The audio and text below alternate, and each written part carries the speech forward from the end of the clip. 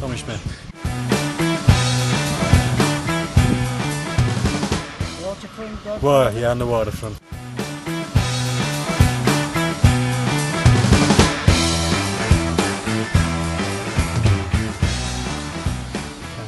Don't think so.